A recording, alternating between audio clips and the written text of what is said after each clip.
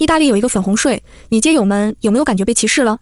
意大利华人街消息，在意大利生活了那么久，相信不少街友们和小编一样，第一次听说粉红税。一听名字，粉红，顾名思义就是针对女性的税。在意大利，所有的女性消费者购买女性生活用品、日用品时，粉红税就隐藏在我们所支付的单价中。在平时购物时，或许从来不会有所察觉。然而，意大利门户网站研究了粉红税所带来的影响，揭露了隐藏在女性生活中的附加费。该网站分析了近三万家在线商店，结果表明，女性相比男性而言，需要为同样的产品支付更多的费用。在欧洲，意大利和西班牙是收取粉红税最高的国家。举个例子来说，同样一个品牌一款一百毫升的男性香水和女性香水差价在九欧元，高出男性香水价格的百分之十四。而英国的差价是六欧元，德国是七欧元。粉红税利用女性对产品强烈的渴望需求，从而将价格提升。在意大利，女性必须为卫生巾和基本的女性卫生产品支付百分之二十二的增值税。